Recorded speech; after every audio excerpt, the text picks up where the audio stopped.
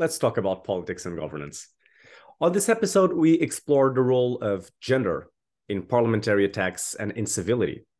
Are women less likely to attack and be attacked than men due to their stereotypical gender roles?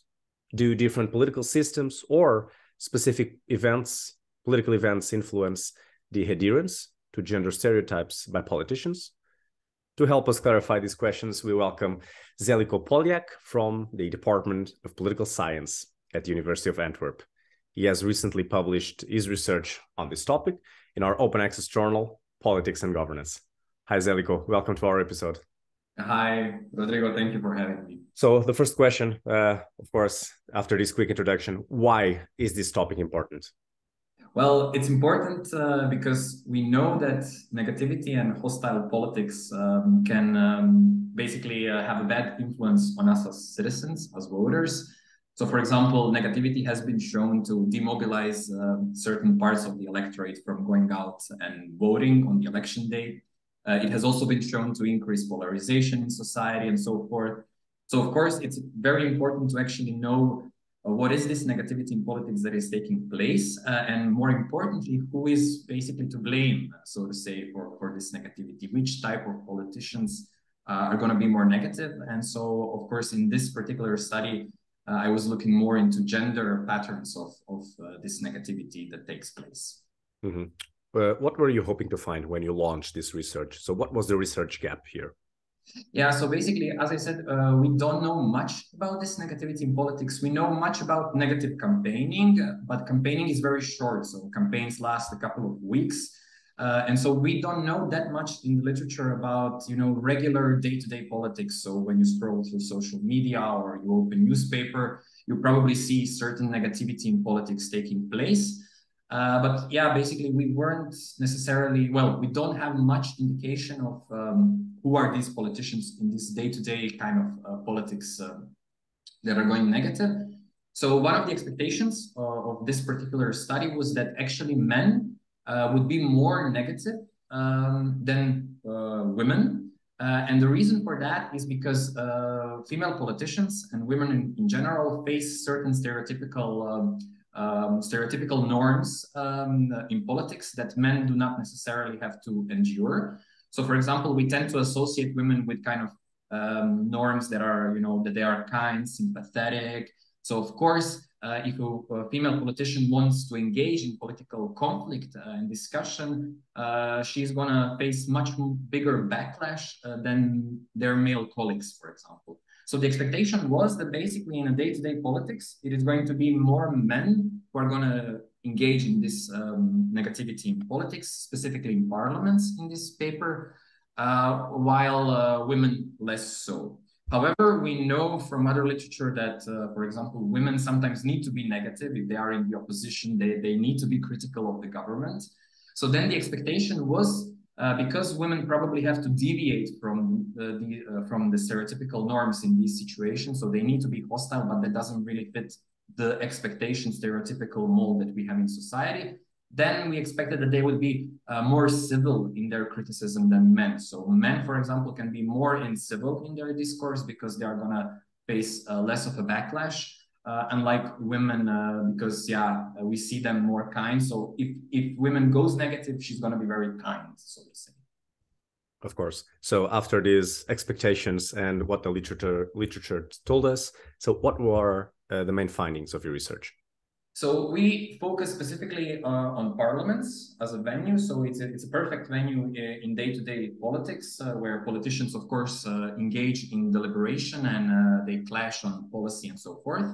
Uh, so we focus specifically on UK, uh, uh, Belgium, and Croatia as kind of very three three different countries in Europe that have different female representation and different political systems and party systems.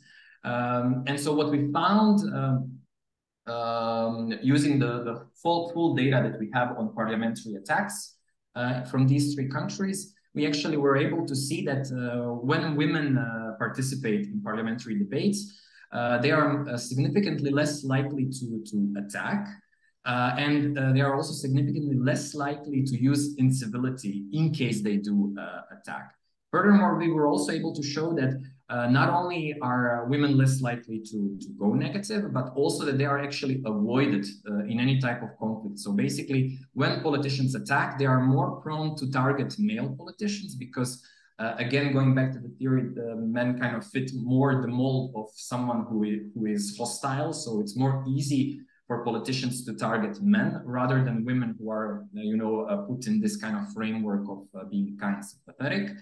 Uh, so these were the expectations we were able to show. However, it is important to stress that we also predominantly find this effect in the UK and less so in Belgium and Croatia.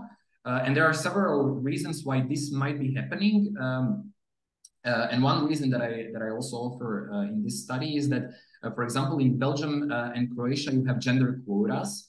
So, for example, female politicians have a certain level of protection, so to say, in case they would divert from these stereotypical norms, they could still, for example, uh, get reassurance that their party is going to feature them on the ballot and so forth, which is not necessarily the case in UK, where gender quotas do not exist. They are not bind, uh, bind uh, parties are not binded by law to, to feature women on the ballots.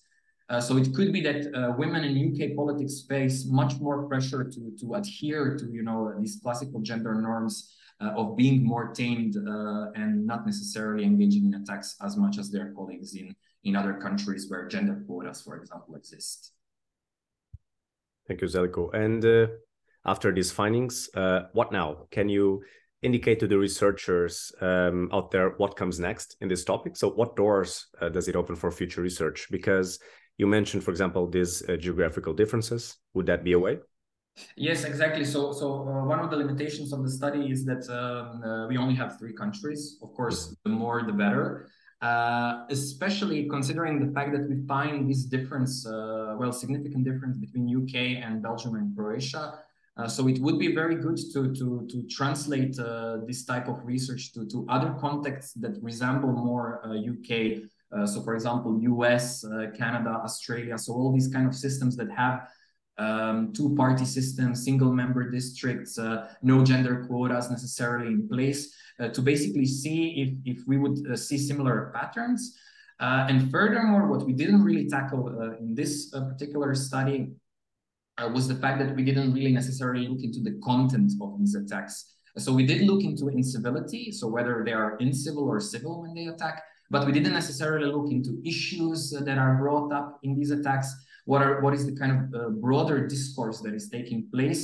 So it would be very fruitful to also see furthermore when uh, politicians are attacking uh, what is exactly the discourse that is that is taking place. Because we could we might be able to see that uh, for example in Belgium and Croatia women attack more uh, than they do in the UK but it might be that the the the, the, the discourse and policies that they are attacking about uh, are similar for example. Mm -hmm very interesting findings and still a lot to explore. Um, yes. Can you provide some additional resources about the topic that we discussed today? Any articles or videos, um, some self promotion as well, if, uh, yeah, if the case? well, yeah. So, so uh, I, I can recommend uh, so the, the papers that were kind of the basis uh, for for my study and for people that might be interested in gender and parliaments uh, and uh, kind of this negative hostile uh, politics in general, uh, I can recommend uh, a work from Martin Haselmayer um, and colleagues from um, two years ago uh, on um, sentiment of political speech in parliaments, where they looked also into differences between female and male MPs in Austrian parliament. Um, and also, I can recommend um, Lotte Hargrave from UK. She recently defended a PhD where she also looked into kind of broader um, gendered speech uh, in the UK Parliament, uh, and not only that, but she also looked, for example, how voters differently perceive uh, women and men in politics. Uh, so these are definitely, I would say, fundamentals to to start from. Uh, and maybe for people that look for something more easygoing uh, and more entertainment-wise, I would recommend um, a Danish political TV series Borgen. Uh, so it's about it's a fictional story about female uh, prime minister, uh, but I think the show does very well in in kind of demonstrating how female politicians need to balance between various aspects just because they are women, just because we expect them to, for example, take care of family, take care of their kids, of their husbands, and so forth, which is definitely a context that male politicians uh, probably face less uh, and are less accept, expected to, to take care of uh, simply because they are men. Of course, even Brigitte from Borgen can help us understand this topic. Yes. Thank yes. you. Thank you, Željko. Uh, this episode is available on Let's Talk About Politics and Governance websites, on Cogitatio's YouTube channel, as well as in podcast directories. Željko, it was a pleasure. Thank you.